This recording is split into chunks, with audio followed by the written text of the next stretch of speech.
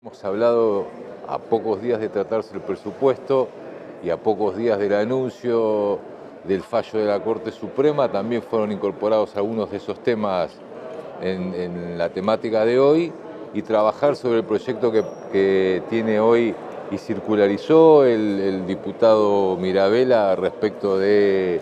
nombramiento de fiscales para poder trabajar y además el gobernador anunció que mañana se estaría reuniendo con el procurador general para ver cómo podemos avanzar con el tema de la justicia federal. Tanto el gobernador como el ministro de Seguridad han expresado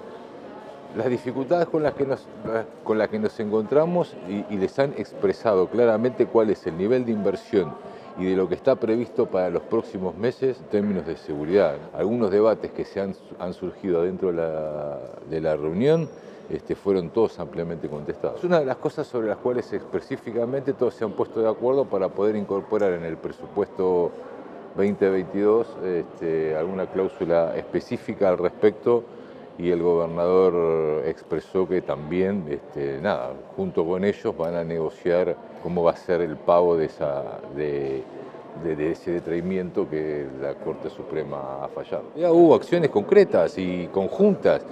lo mismo que con los legisladores provinciales, eso. Y mañana el gobernador va a tener una reunión con el procurador general de la Nación donde va a expresar claramente esta necesidad y donde ellos han dispuesto a trabajar junto con nosotros en,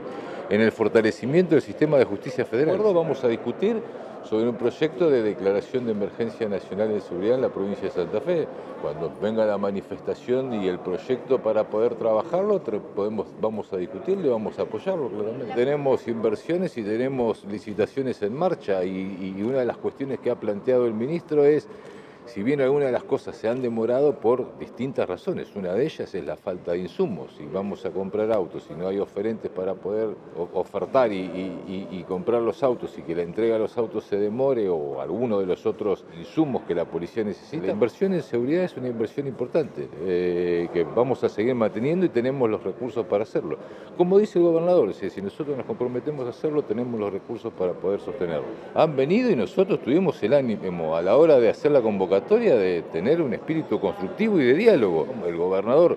toma nota, incorpora las mociones, incorpora las propuestas y las vamos a llevar adelante en una mesa de, construcción, de diálogo y darle continuidad a estos ámbitos, donde vamos a discutir no solamente el tema de la seguridad, que sí es uno de los temas prioritarios, pero donde además tratamos esto que decía antes, por ejemplo, el tema del presupuesto que está a punto de tratarse en el gobierno nacional y en el gobierno y en la legislatura provincial.